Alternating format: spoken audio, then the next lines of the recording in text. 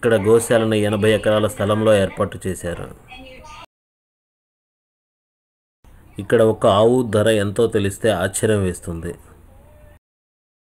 ఇది కాలిఫోర్నియాలోనే richest people ఉండే లొకేషన్లో ఈ గోశాల ఏర్పాటై ఉంది.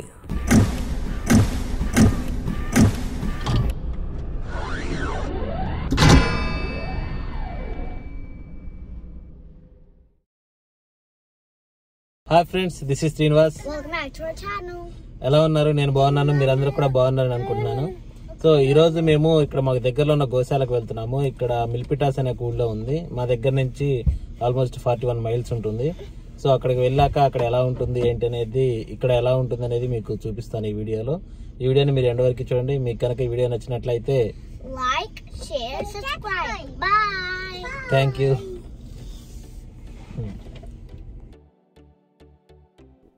ఇప్పుడు మనం ఒక ఫార్టీ వన్ మైల్స్ డ్రైవ్ చేసి వచ్చినాక మిలిపిటాస్ అనే ఒక టౌన్కి వచ్చాము. ఈ టౌన్లో ఈ కొండ మీద ఈ గోశాలను ఏర్పాటు చేశారు.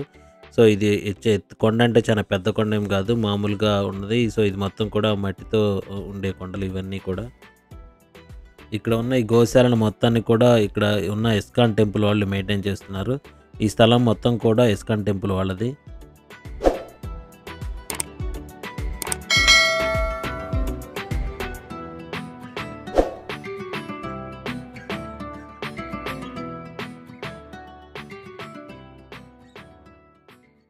ఈ గోశాలను విజిట్ చేయాలంటే ఈవినింగ్ ఫోర్ ఓ క్లాక్ తర్వాత అవుట్ సైడ్ విజిటర్స్ని అలౌ చేస్తారు.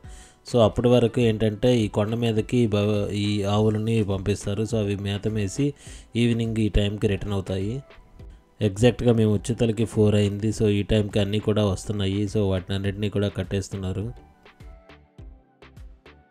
ఈ గోశాల వచ్చేసి చాలా ప్రశాంతమైన వాతావరణంలో ఉంటుంది. ఇది మొత్తం కూడా ఎనభై ఎకరాల స్థలము. ఇది మొత్తం కూడా ఇస్కాన్ టెంపుల్ కింద ఉంది.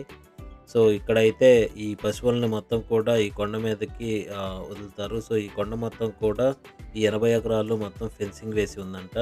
సో అవైతే వెళ్ళి వేసి వస్తాయి. పైన కూడా రెండు మూడు షెడ్స్ కట్టారు ఈ కొండ మీద అక్కడక్కడ. సో అవి వాన పడ్డ బాగా ఎండ ఉన్నా సరే అక్కడికి వెళ్ళి రెస్ట్ తీసుకుంటాయంట.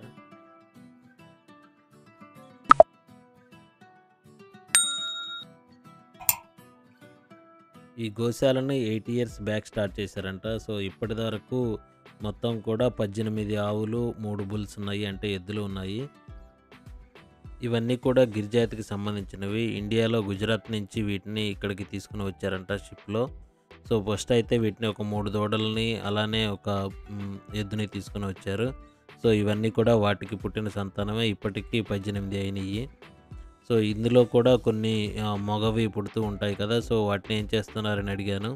సో మగవి ఎక్కువ ఉంచలేరు కనుక వీళ్ళు ఏం చేస్తున్నారు అంటే ఇక్కడ పక్కనే ఇట్లా టెంపుల్ కింద పెంచుతున్న గోశాలకి వాళ్ళకి పంపిస్తారంట ఎక్కువ పుట్టిన మగవి పుడితే కనుక ఈ గోశాలలో ఉన్న ప్రతి ఆవుని ఎద్దుని కూడా పేరుతో పిలుస్తారు. పుట్టడంతో వీటికి పేర్లు పెడతారంట.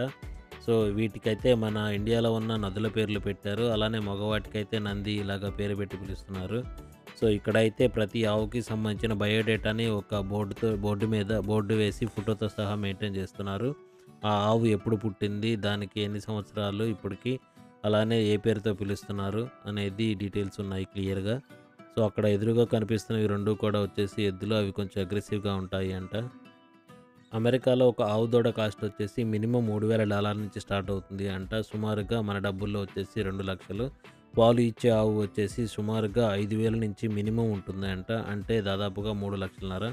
సో ఇప్పుడు ఇండియాలో అయితే మన దగ్గర కూడా ఈ గిరిజాతికి సంబంధించిన ఆవు కాస్ట్ వచ్చేసి ఆల్మోస్ట్ ఒక లక్ష రూపాయల దాకా ఉంది.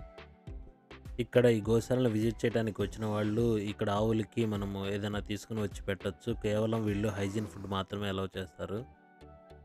ఇక్కడ ఇప్పుడు నాతో మాట్లాడుతున్న వ్యక్తి వచ్చేసి ఇక్కడ ఇస్కాన్ టెంపుల్లో ఉన్న పూజారి. సో ఇతను గోసేవ చేసుకోవటానికి మార్నింగ్ అండ్ ఈవినింగ్ వాలంటీర్గా వచ్చి ఇక్కడ సేవ చేసుకుంటారు అంట.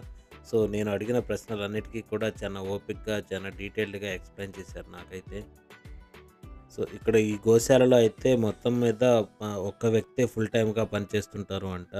సో మిగతా వాళ్ళందరూ కూడా వాళ్ళు వాలంటీర్గా వచ్చి గోసేవ చేసుకోవడానికి మార్నింగ్ ఈవినింగ్ ఎవరికైతే వీలుంటుందో వాళ్ళు వచ్చి ఇక్కడ సేవ చేసుకొని వెళ్తూ ఉంటారు అంట.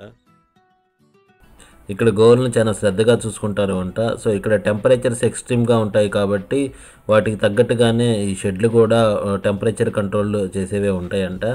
అలానే చిన్న దూడలు ఈ చలికి తట్టుకోలేవు కాబట్టి వాళ్ళకి వింటర్లో వచ్చేసి స్వెటర్స్ కూడా వేస్తారు అంట. ఇప్పుడు ఇక్కడ ఉన్న కొండ మీద ఇస్కాన్ టెంపుల్ని కన్స్ట్రక్షన్ చేయబోతున్నారు అంట. ప్లాన్ రెడీ అయింది. అప్రూవల్ కోసం వెయిట్ చేస్తున్నారు. ఒకసారి అప్రూవల్ వచ్చిన తర్వాత కన్స్ట్రక్షన్ మొదలు పెడతారు అంట. సుమారుగా టెన్ మిలియన్ డాలర్స్ ఎస్టిమేషన్తో బిగిన్ అవుతుంది అంట. అంటే సుమారుగా డెబ్బై కోట్ల రూపాయలు మన మన కరెన్సీలో వచ్చేసి మే సుమారుగా ఒక నాలుగు ఐదు సంవత్సరాల్లో కంప్లీట్ అవ్వచ్చు అని అనుకుంటున్నారు. ఇది కంప్లీట్ అయినాక మిలిపిటాస్లో ఉన్న టెంపుల్ని ఇక్కడికి షిఫ్ట్ చేస్తారు అంట. ఇక్కడ ఆవు నుంచి పాలు తీయటం మ్యాక్సిమం మెషిన్ తోటే చేస్తుంటారు.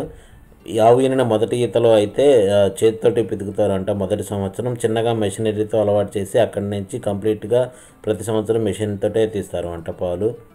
ఇక్కడ ఆవు దూడలకి బాగా పాలు వదులుతారు అంట ఒక్కొక్క ఆవు దూడలకి ఇవ్వంగా మూడు నుంచి ఐదు లీటర్ల మధ్యలో ఇస్తాయంట మార్నింగ్ అండ్ ఈవినింగ్. ఈ పాలన్నింటినీ కూడా ఇక్కడ దేవస్థానానికి అలాగే అన్నప్రసాదాలకి ఉపయోగిస్తారు అంట డైలీ. ఇక్కడ ప్రతి పనికి కూడా ఒక ఎక్విప్మెంట్ ఏదో ఒక ఎక్విప్మెంట్ ఉపయోగిస్తుంటారు. సో అందువల్లే ఇన్ని గోవులు ఉన్నా సరే ఒక ఎంప్లాయీ తోటి మెయింటైన్ చేయగలుగుతున్నారు. అలానే ఇక్కడ ఎక్విప్మెంట్ కాస్ట్ వచ్చేసి ఎంప్లాయీకి ఇచ్చే శాలరీ కంటే చాలా తక్కువగా ఉంటాయి.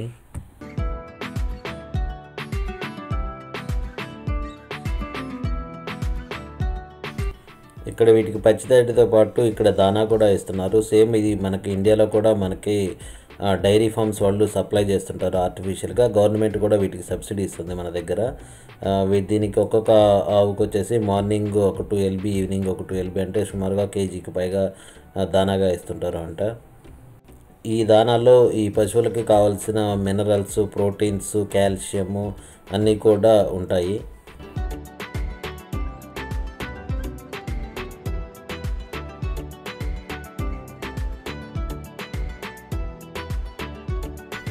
ఈ ఎనభై ఎకరాల స్థలాన్ని ఒక పది సంవత్సరాల బ్యాక్ కొనారంటండి టూ పాయింట్ ఫోర్ మిలియన్ డాలర్స్కి. అంటే మన ఇప్పటి కరెన్సీలో వచ్చేసి సుమారుగా పద్దెనిమిది కోట్లు. ఈ ఏరియా మొత్తం కూడా చాలా కాస్ట్లీయెస్ట్ ఏరియా అండి. సో మీరు సిలికాన్ వ్యాలీ అండ్ అని విని ఉంటారు. సో ఇది ఆ రీజన్ కింద వస్తుంది. సో ఈ చుట్టుపక్కల అన్ని మల్టీనేషనల్ కంపెనీస్ హెడ్ క్వార్టర్స్ ఇక్కడే ఉన్నాయి. యాపిల్ సిఎస్సి లాంటి కంపెనీలు. అలానే ఆ సీఈఓలు డైరెక్టర్లు ఉండే లొకేషన్ కూడా ఈ లొకేషన్లోనే ఉంటుంది. సో బంజారా హిల్స్ మనకి హైదరాబాద్లో తెలిసి ఉంటే సో అక్కడ ఎలాంటి కాస్ట్లీ ఏరియా ఉంటుందో ఇది కూడా అలాంటి ఒక ఏరియా. ఇప్పుడు ఇక్కడ నుంచి కొండ దిగి టెంపుల్కి వెళ్తున్నామండి. సో ఇది మిలిపిటాస్లో టౌన్లో ఉంటుంది. సో మీరు టెంపుల్ అనగానే గోపురాలు పెద్దగా ఉంటుందని ఊహించుకోవచ్చు. సో ఇది నార్మల్గా కాంప్లెక్స్లో ఉంటుంది. కన్స్ట్రక్షన్ అయిపోయినాక ఇప్పుడు మీరు చెప్పాను కదా ఇందాక ఇక్కడ కన్స్ట్రక్షన్ జరుగుతుందని. సో తర్వాత టెంపుల్ని అక్కడ మూవ్ చేస్తారంట. సో ఇప్పుడున్న టెంపుల్ ఎలా ఉందో చూసేద్దాము.